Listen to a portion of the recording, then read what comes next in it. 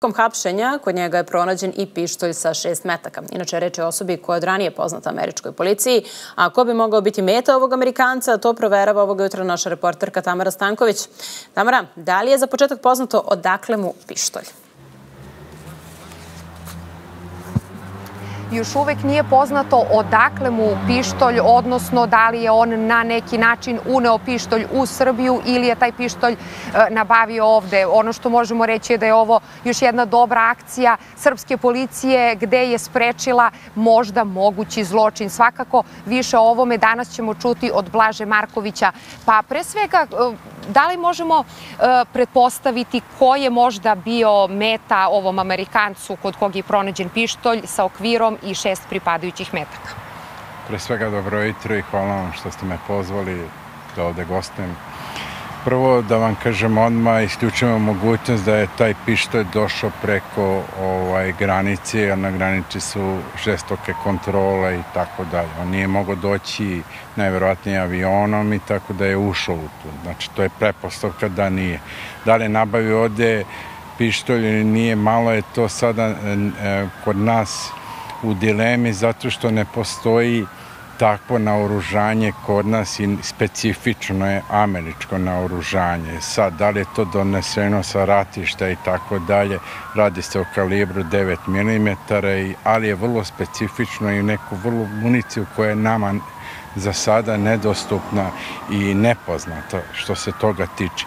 Ono što ste dobro rekla, to je trebamo da pohvalimo inspektore i sve zaposlene u, u policijskoj stanici Stari grad. Zaista su odradili svoj deo posla, e, dobar deo posla, jer to, po tome se vidi da smo jedno, jedan od najbezbednostnijih gradova u Beogradu, u Srbiji.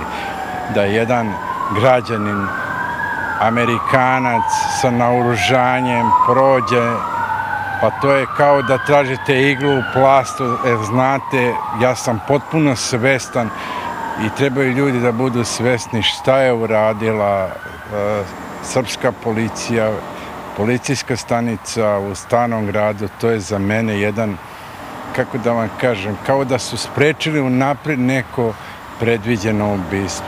Treba da znate još jednu stvar, on je Amerikanac, američko državljanstvo ima, šta god mi budemo tražili, oni će tražiti da se isporuči ovaj, ekstradiciju prema Americi, jer to su kod njih takvi zakoni, on je američki državljan i sigurno ćemo se suditi tamo, ovde će proći 30 dana, da mi operativno odradimo sve što trebamo da odradimo, koje su mu namene bile, ako bude želeo to da kaže, ali to će jako biti teško da iz njega ovaj, se izvuče, ali sigurno da će FBI tamo u, i policija tamo u Americi odraditi svoj deo posla i najverovatnije će doći do boljih podataka i širi podataka koje su njegove bile namere i zašto je on nabavio pištolj ovde na ovom tlu u, tako da isključuje mogućnost da je preko granice došlo jer su naše granice jako bezbedne i ne može se ništa tako lako prošvrca, pogotovo pištolj.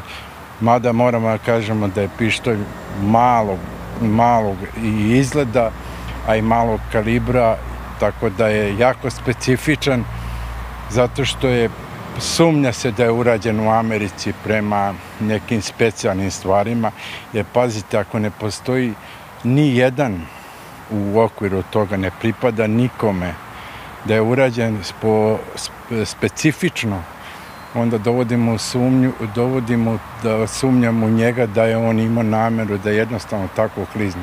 Međutim, otvara se nova epoha u bezbednosti sada, mnoge stvari, pošto za njega se vezuje da je možda plaćeni ubica, možda ćemo iz toga videti da te plaćene ubice koriste kalibre, koriste naoružanje koje, koje su specifične i rađene u ručnoj izradi tako da nisu ni ove fabrike, ni one fabrike, nego prošto ručne izrade. Tako da, eto, polako stičemo iskustvo na taj način, zahvaljujući ovaj, ljudima zaposlenima u Ministarstvu unutrašnjih poslova, u policijskoj stanici ovaj, Stari grad.